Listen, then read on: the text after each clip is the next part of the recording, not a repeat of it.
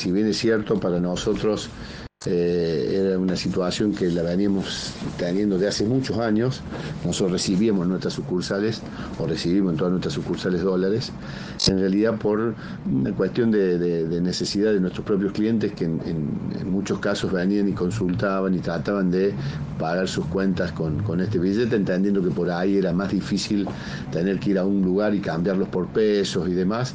Entonces en algún momento empezaron a consultar, esto hablo de hace muchos años, así que bueno, desde aquel momento eh, empezamos a recibir. Sí lo hacíamos con la particularidad que solo recibíamos cara grande por esta eh, por este tema de que creo que es un invento, no sé si nacional o de Sudamérica, de que el dólar chico tenía un valor menor y entiendo que por ahí en general un mismo negocio y a partir de ahora, ya de la semana pasada para adelante, hemos empezado también a recibir dólares con cada chica.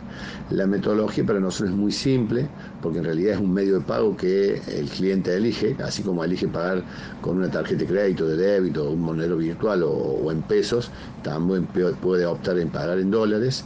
Y a partir de que él decide, nosotros le cargamos el importe de 100 dólares y a partir de ahí es como si la operación se hiciera por un valor de, suponga, al valor del hora de estos días 135 mil pesos o algo por el estilo. Y, a partir de ahí son 135 mil pesos, es un billete de 135 mil pesos para nosotros, en el cual él paga la, la, compra y nosotros le damos el vuelto en pesos. No lo damos en dólares inclusive porque no se, no se, no se tiene cambio chico como para poder eh, dar el vuelto en dólar. Entonces, bueno, lo transformamos en peso automáticamente y a partir de ahí la operación funciona como si fuese, fuese en pesos. Eh, esa un poco es la nueva modalidad.